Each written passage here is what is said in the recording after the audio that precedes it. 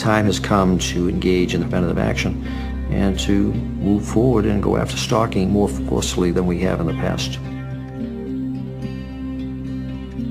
It's a truly significant crime that we need to do more about. It is uh, one that creates phenomenal fear and unfortunately seems to be one that is growing in terms of the violence directed at its victims.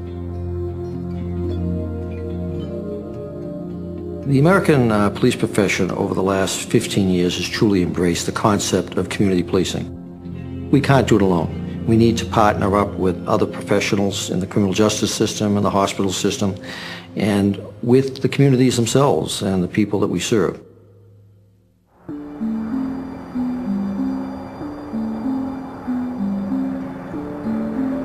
It's a constant fear, it's a constant worry. It's being anxious, it's not sleeping. It's sitting in your own house, the place where you should feel the most safe and yet not feel safe at all.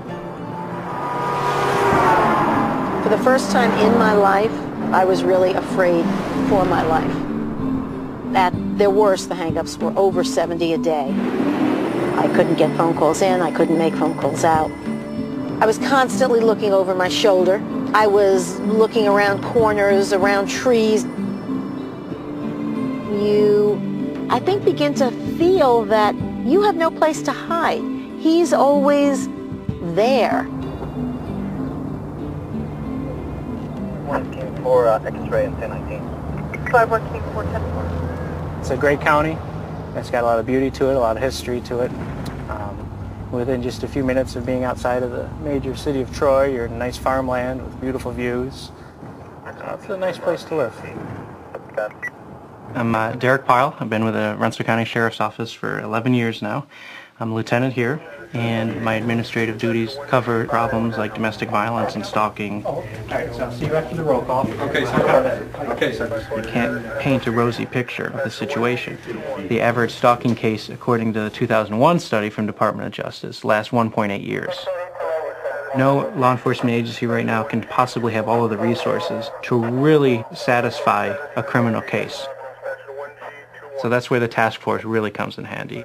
Having the multi-agency collaboration and really getting the community stakeholders involved is huge just to managing the case, managing victim fear, and getting a full context on what the situation is. The best way to combat stalking, we believe, is to bring people in from multiple disciplines, from law enforcement, from uh, advocacy roles, and actual victims themselves, have them come to the table if they're comfortable doing that and telling their stories and, and working on solutions to their, to their problems. I wouldn't expect my officers to have the answer to every question. They don't have to be an expert on stalking. They just need to know that the law is in the book, where to find the book, and more importantly, to know that there are experts in particular fields that they can talk with. Well, stalking and domestic violence just just exists in, in so many instances, and, and we need to be open to to see it. Not being aware of the issue, not being aware of what stalking is or what the law, how the law can be applied, makes it a little more difficult to do the job. I see a lot of law enforcement here. I would say that probably among you, you probably got what, about a couple hundred years of law enforcement experience? Maybe 300 years of law enforcement experience in this room? How many stalking charges have we ever made? None of what I'm going to say is to, to mock you or insult you in any ways at all. It's just the idea that the message has not gotten out. In my opinion, the most dangerous person that you're going to come across is the person that knowingly violates an order of protection. When somebody violates an order of protection, what do we know that we've got already? We've got a stalker. Because we know that there's this, this behavior over here that has allowed this order of protection to be issued, right? And now we've got something that violated that order of protection. What do we got? We got a course of conduct.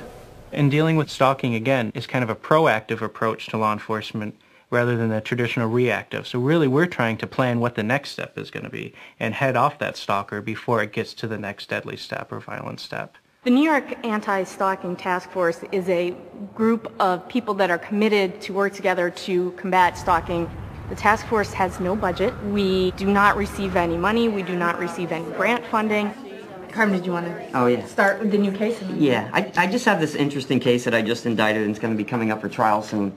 And I, I, I just wanted some feedback from everyone about problems that we might run into in trying to prove this case.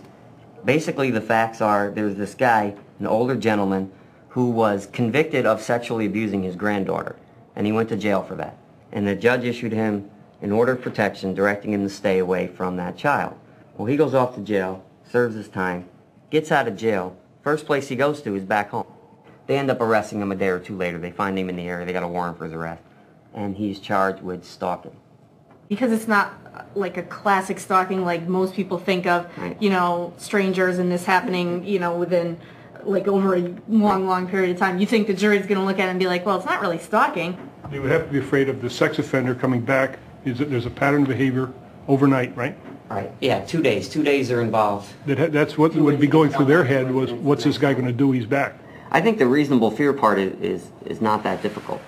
You know, clearly the child in reasonable fear that something's going to happen to her, and the mother is in reasonable fear that something's going to happen to her child. The criminal contempt looks solid, and the first based on not only the stalking, but also the menacing. So you If you have a room of 40 people, and these are their careers, they specialize in victim safety or law enforcement, you have enormous collective institutional knowledge within that room. While he was in state corrections custody... in Within the early stalking task force, we have probation, and we have DA, and we have advocates, and we have people from the schools and hospitals. So now the officer, when he's faced with a situation he's not entirely comfortable with, he can now reach out to people that do have the expertise within that narrow band. Some very good ideas, very good suggestions, and arguments that I can make to the jury. Thank you very much.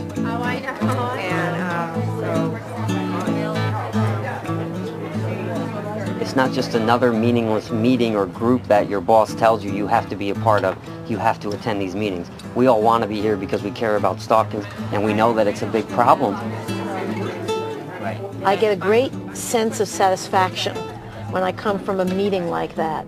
Deep down, I feel, well, what I went through was worth it uh, because there have been so many changes within the community. It's not just a, an advocate group, nor just a law enforcement group, but it's a cooperative effort of law enforcement and advocates and DA's offices and corrections. Police officers appreciate this collaboration once they're able to get started. Now they realize that they have resources at their disposal through other agencies and other parties that are willing to help so that we're not just addressing the actual crime now, we're trying to help the stalking victims with every aspect of how this event is affecting their life.